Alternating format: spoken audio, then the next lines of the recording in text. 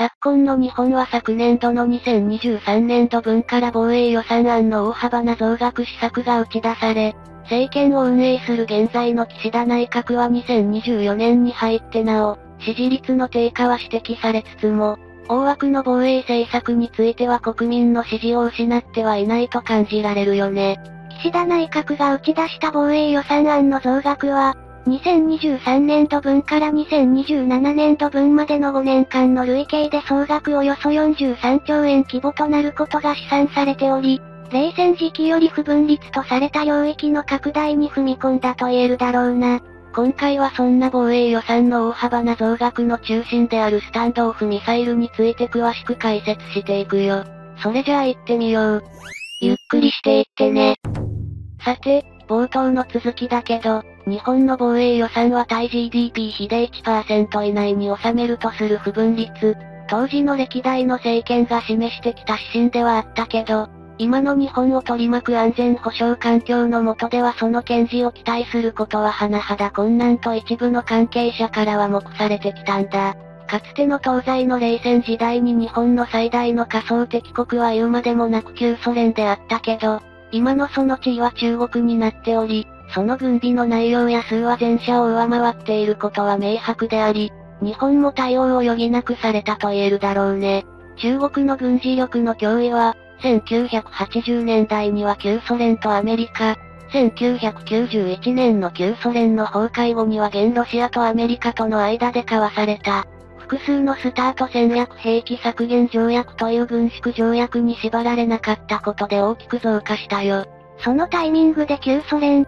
現ロシアとアメリカとが中距離打撃兵器の開発を制限する中、これに縛られなかった中国は準中距離弾道ミサイルでかつ対艦弾道ミサイルである DF21 等のミサイルの配備を1991年から進め、同ミサイルはすっぽりと日本全道射程距離内に収めているな。その後も中長距離打撃兵器である複数のミサイルの配備を加速させる中国に対して、日本はここに来てようやく敵の防空兵器の射程距離外から攻撃が可能なミサイルをスタンドオフミサイルと位置づけ対応を進めているわけだ。政治的には長距離打撃兵器であるミサイル類は、かつて敵基地攻撃能力と称されてきたものを反撃能力と言い換えるなどの方策で、自衛隊への配備を容認する形として進めており、反対勢力への理論武装も並行している状況だぜ。そうしたスタンドオフミサイルの代表例としては、アメリカからトマホーク巡航ミサイルを調達する計画や、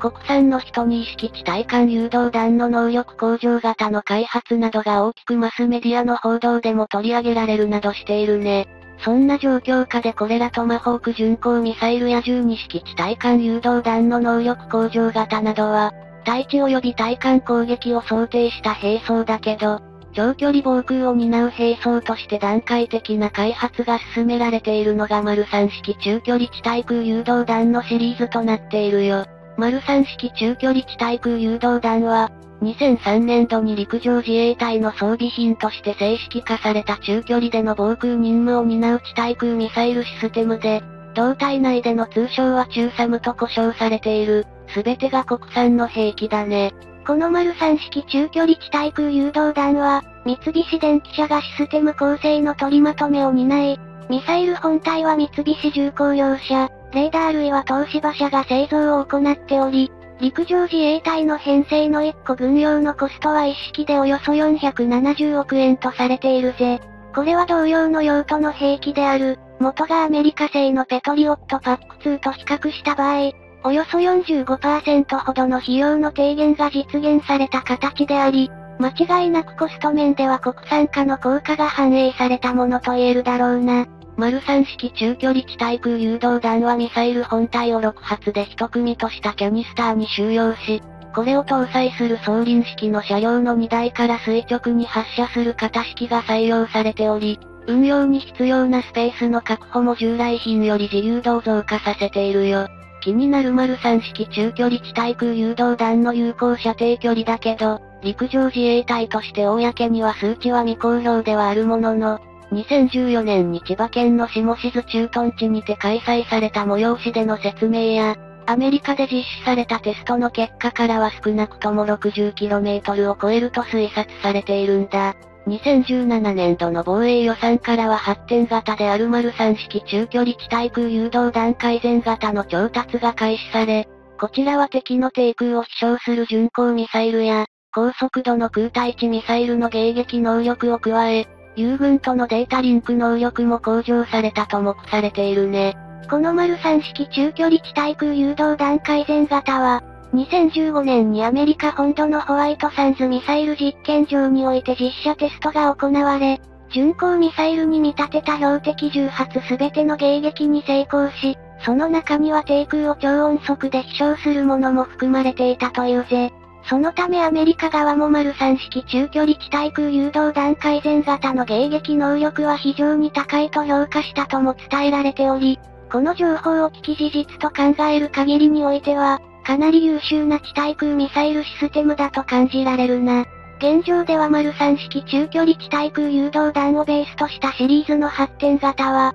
1、2023年に開発完了予定の新艦対空誘導弾、2、2026年に開発が完了予定の丸3式中サム海能力向上早期研究開発分、3、2028年に開発が完了予定の丸3式中サム海能力向上新規研究開発分、4、2031年に開発が完了予定の新艦対空誘導弾能力向上型があるらしい。この中で2の2026年に開発が完了予定の丸3式中サム海能力向上早期研究開発分と、3の2028年に開発が完了予定の丸3式中サム中サム海能力向上新規研究開発分は、従来の地対空ミサイルシステムの性能を向上させた発展型ってわけ。これらは主として今の日本の最大の仮想敵国となった中国に対抗するべく、主として中国軍が配備を進める新型短距離弾道ミサイル SRBM 及び、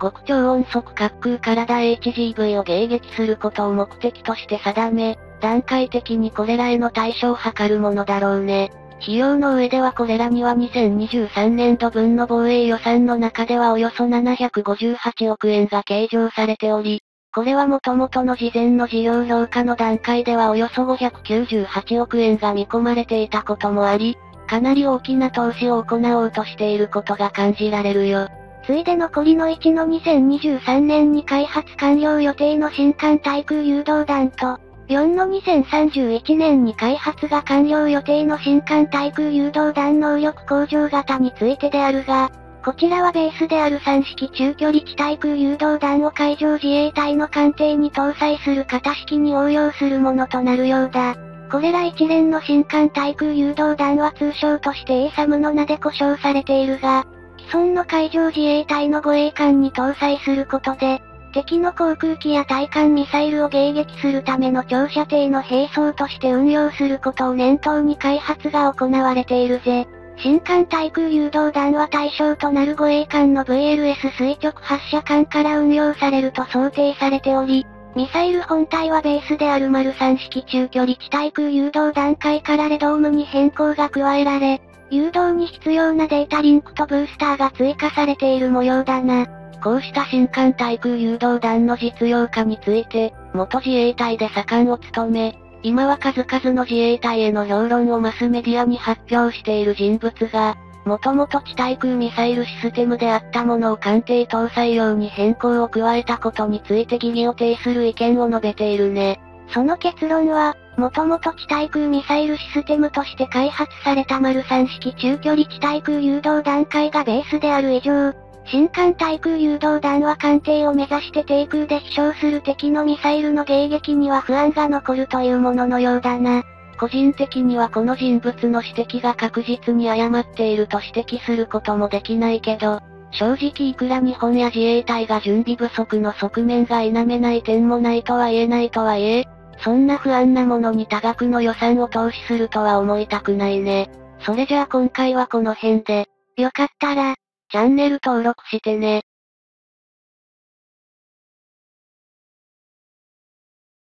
2024年3月25日から29日までの延べ5日間をかけて、在日アメリカ軍の横須賀海軍基地内に停泊した同軍の艦艇を用い、搭載するトマホーク巡航ミサイルの運用訓練が日本の自衛隊関係者に向けて実施されたよ。このトマホーク巡航ミサイルの運用訓練の実施の様子は、3月28日に在日アメリカ軍を通して一部の報道機関に公開され、アメリカの駐日大使であるエマニュエル氏も同席しており、日米の軍事的な分野での関係強化を改めて強調したものとなったな。さて今回はトマホーク巡航ミサイルの導入に向けての取り組みについて詳しく解説していくよ。それじゃあ行ってみよう。ゆっくりしていってね。さて、エマニュエル氏は九段のトマホーク巡航ミサイルの運用訓練に対して、日本とアメリカ両国の抑止力を向上させること、太平洋方面における軍事行動の信頼性の向上に寄与することをポイントとして報道陣にコメントを発しているんだ。政治的には来月の2024年4月10日に日本の岸田総理が渡米し、アメリカの首都ワシントンにおいて同国のバイデン大統領との会談を行う中でも日米の軍事的な連携の強化が議題に上るであろうことも示唆されたな。日本政府としては従来までは敵基地攻撃能力と称されてきた、トマホーク巡航ミサイルのような長距離打撃兵器を政治的には反撃能力と言い換えることで、その取得保有運用を定常化させる姿勢を示しているね。自衛隊側では今回のアメリカ海軍の艦艇において搭載するトマホーク巡航ミサイルの運用訓練に際しては、海上自衛隊員はもとより航空自衛隊員も含め参加を行ったとされていて、隊を超えた連携も考慮されていることが推察されたよ。今回のトマホーク巡航ミサイルの運用訓練は、実際に同ミサイルを発射するような大掛かりなテストではなく、艦内の戦闘指揮所において、その運用手順のレクチャーを自衛隊側がアメリカ軍から受けるといった形式が取られた模様だね。ここに参加した自衛隊員らは、艦艇搭載型のトマホーク巡航ミサイルの発射までの一連の操作を戦闘指揮所内の実際の必要機材を通して学習し、目標補足から攻撃に至る工程をシミュレーションで体験したものと思われるんだ。在日アメリカ軍が今回のトマホーク巡航ミサイルの運用訓練のために用意し使用した艦艇は、同海軍の主力の水上戦闘艦であるアーレイバーク級ミサイル駆逐艦の35番艦で2022年8月に収益を開始したマッキャンベルだったぜ。アメリカ海軍のアーレイバーク級ミサイル駆逐艦は、日本の海上自衛隊が2024年4月時点で8隻を保有運用中のイージス護衛艦のベースであり、マッキャンベルはその中でも比較的に新しいフライト 2A というバージョンに当たるな。マッキャンベルは満載排水量が9648トン、全長が155.3メートル、全幅が20.1メートルの艦隊を持ち、これに4機のガスタービンエンジンを組み合わせた COGAG 方式の機関を搭載、最大で出力27万馬力で速力31ノットと公表されているよ。このマッキャンベルという艦艇は、2011年の東日本大震災の際には航空母艦ロナルド・レーガンの艦隊の一部として被災地支援のために派遣された経緯もあり、艦名に聞き覚えがあるという方も少なくないだろうね。マッキャンベルは今年2024年1月末に在日アメリカ軍がそれまで配備していた、タイコンデロが旧ミサイル巡洋艦の8番艦であるアンティータムの代わりに、近代化改修を施された後に日本へと配備された状態だったんだ。アーレイバーク級ミサイル駆逐艦のフライト 2A としてマッキャンベルは、兵装にマーク、41モッド、7VLS を96セル実装しており、ここから今回の訓練の対象となったトマホーク巡航ミサイルも運用する能力を有しているぜ。前述したように海上自衛隊が保有運用中のイージス護衛艦は8隻だが、その内訳は混合型が4隻、アタゴ型が2隻、マヤ型が2隻となっており、日本でもこれらがトマホーク巡航ミサイルの搭載の対象となることは間違いないだろうな。これら海上自衛隊の8隻のイージス護衛艦は、近年は主任務として北朝鮮の各種のミサイルを迎撃するためのミサイル防衛の要と位置づけられてきたけど、日本を取り巻く安全保障環境が悪化する中でその役割は多様化してきているように思えるよね。海上自衛隊ではヘリコプター搭載護衛艦 DDH の出雲型2隻も航空母艦化改修を施している渦中にあり、これらが艦載機として F35 ライトニング 2B 型を運用する場合には、その艦隊の防空を担う艦艇も当然必要となるってわけ。日本は2023年度から2027年度までの5年間で大幅な防衛予算の増額を決め、総額で43兆円とすることでイージス護衛艦も現行の8隻体制から2隻増の10隻体制へと拡充させることが予定されており、増加する任務への対象を考慮していることが伺えるんだ。これら10隻体制のイージス艦とは別に2隻のイージスシステム搭載艦を、配備を中止したイージス・アショアの代替策として新造することも確定しており、ミサイル防衛の中心はこちらに移行することも想定されるな。さて話をトマホーク巡航ミサイルに戻せば、日本は同ミサイルを総額およそ2540億円を投じて最大で400発をアメリカから調達する予定となっており、来年度の2025年度から2027年度にかけてその数を受け入れるとされているよ。費用面の総額およそ2540億円の内訳は、トマホーク巡航ミサイル本体の取得費用としておよそ1694億円、同ミサイルを運用するため、搭載対象となるイージス護衛艦への関連設備の取得におよそ847億円が計上されている形だね。元々の計画において日本政府はトマホーク巡航ミサイルについて、400発とされる全ての数を最新のバージョンであるブロックごとし、2026年度から調達する方向で予算を計上していたが、1年間の前倒しを決断したぜ。この期間を1年間前倒して2025年度からとすることは、その理由に日本を取り巻く安全保障環境の著しい悪化が挙げられているが、それによってトマホーク巡航ミサイルのバージョンも最新型のブロックごと一つ前のブロック4に変更されたな。総数で400発を調達することに変更はないが、トマホーク巡航ミサイルのバージョンは最新型のブロックごと一つ前の型のブロック4をともに各200発ずつに安分して取得することに変更。性能そのものよりも配備時期を優先したと考えられるわけだ。トマホーク巡航ミサイルはバージョンがブロック5であれブロック4であれ、およそ 1600km とされる射程距離には大きな違いはないが、前者は攻撃目標を識別する能力が向上しているとされ、アメリカ軍も代替を進めている渦中だよ。またブロック後には、ブロック4の性能を高めたベースとも言うべき5型と、さらにこれを艦隊地艦隊艦攻撃用等兼用可能とした5型、艦隊地攻撃用の能力を向上させた5部型という3種類が製造されているな。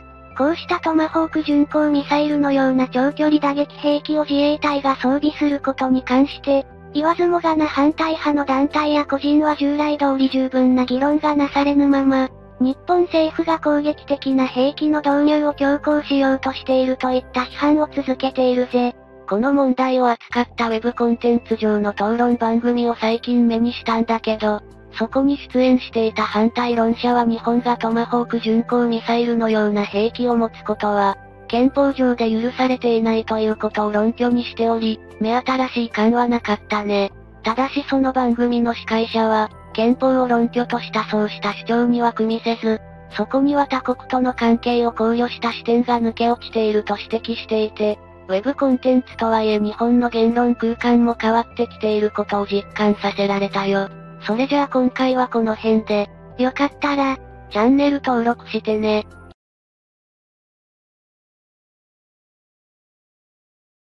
スターリングエンジンを搭載した潜水艦の建造はそろそろ終わりになるみたいだね。そんな中、日本の最新鋭潜水艦白芸の進水式は無事に迎えることができたぜ。ここでオーストラリアが源泉導入計画を発表したが、それに刺激を受けたのか、いよいよ日本も源泉を導入するのかという噂が流れ始めているようだな。大芸潜水艦もいよいよ収益する予定だし、日本は通常動力型潜水艦でトップの性能を誇り、戦略的にも潜水艦では世界屈指と定評があるんだ。大芸の先行深度はもちろん非公開だが、各国をはるかにしのぐ深さまで先行可能ということは事実だな。さて今回は、海事潜水艦の22隻体制について詳しく解説していくよ。それじゃあ行ってみよう。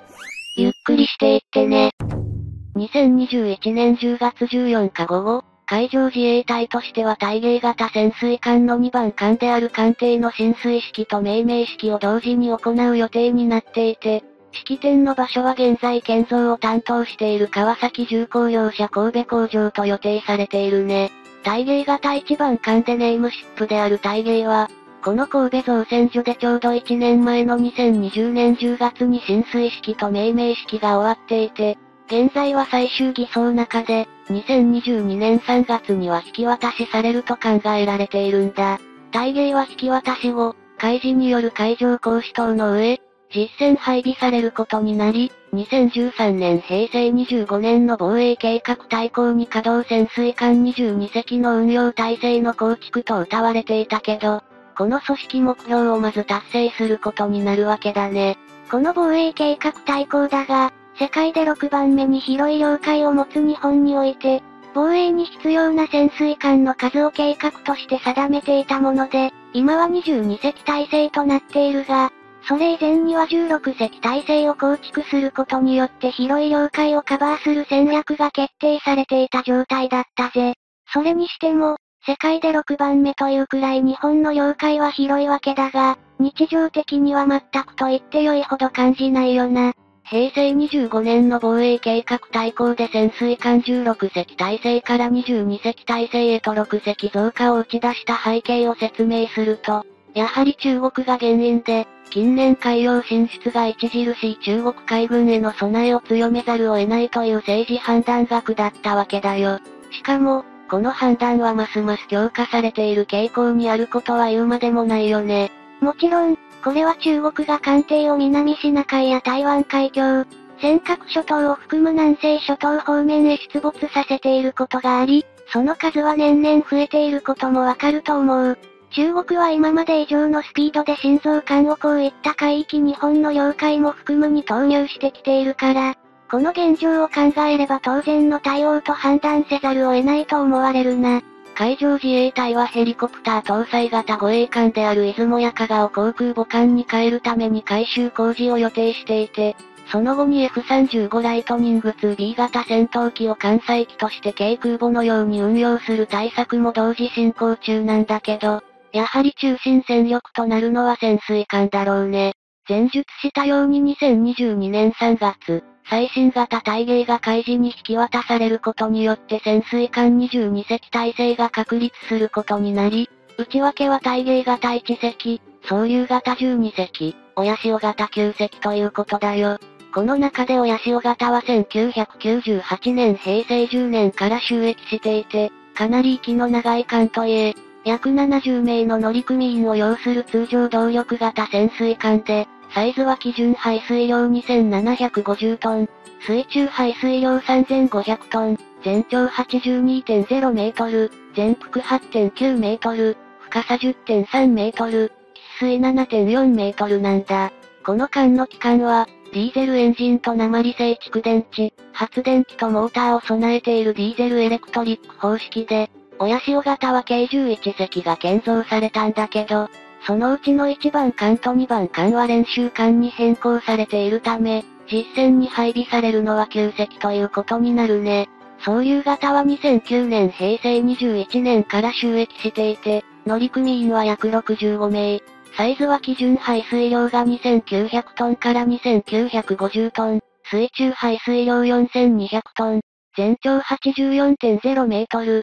全幅9.1メートル、深さ10.3メートル、水8.5メートルだから、親潮型より少し大きいことになるんだ。総流型は1番艦から10番艦までは非待機依存推進型のディーゼルエレクトリック方式を採用していて、これはディーゼルエンジンと鉛製蓄電池、発電機とモーターにスターリング機関を備えた機関で、その当時は最新機関と注目されたんだ。しかし、総流型11番艦応流からは、スターリング機関の搭載を中止しており、代わりにディーゼルエンジンとリチウムイオン製蓄電池、発電機とモーターを備えた構成となり、非待機依存推進型ではなくなっているぜ。スターリング機関の搭載を止めたことで OUE 後の性能は、カタログデータ上ですが水中の時空待ちからは8000馬力から5600馬力へ、水中最高速度は20ノットから18ノットに低くなった形ではあるが、使用する上での水中性能の持続力は逆に増大したと言われているな。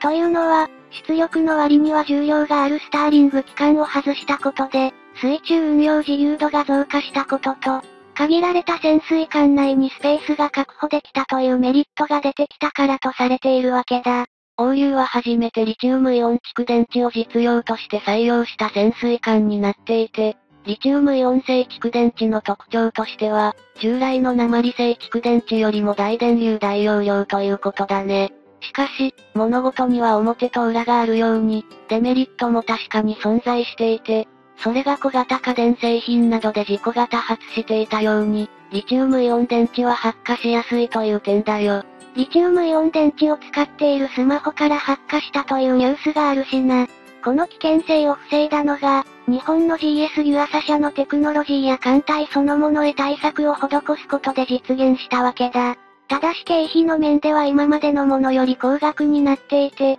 建造費は総流型10番艦小流が約517億円だったんだが、11番艦欧流は約643億円となり、約24%ほど高くなってしまったぜ。建造コストの点から見ると、最新鋭体芸型1番艦でネームシップ体芸は約800億円と判断することができ、新型のシュノーケル発電やソナーなど新しいシステムが採用されている分、経費は比例して増えているわけだ。2021年9月以降、オーストラリアがアメリカあるいはイギリスの技術サポートを受けて攻撃型原子力潜水艦を購入する方針転換したことが大きな話題になったんだけど、実はそれらの艦とは日本の潜水艦はそもそもの基本が全く違うんだよね。アメリカ海軍の最新攻撃型原船は乗組員が130名以上のバージニア級で水中排水量7800トン、全長114.8メートル、